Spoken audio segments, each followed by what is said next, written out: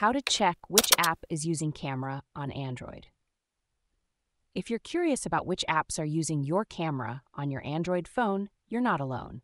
Here's how you can find out and take control of your camera permissions. First, let's start with the simplest way to check if an app is using your camera.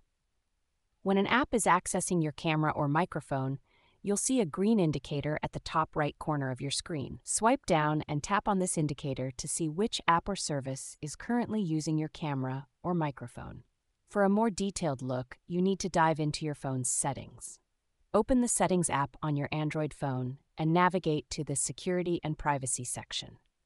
From there, tap on Privacy and then select Permission Manager. In the Permission Manager, scroll down and tap on Camera. Here, you'll see a list of all the apps that have permission to use your camera.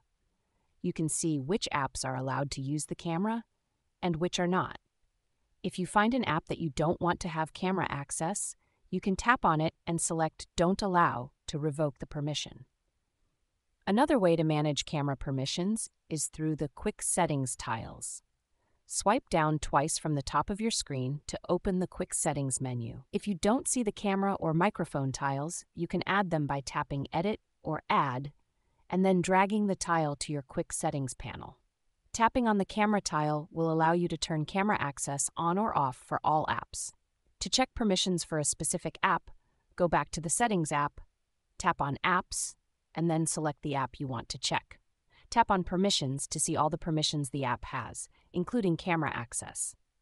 Here, you can change the permission settings to allow only while using the app, ask every time, or don't allow. By regularly checking and managing these permissions, you can ensure that only the apps you trust have access to your camera, helping you maintain better control over your personal data and privacy.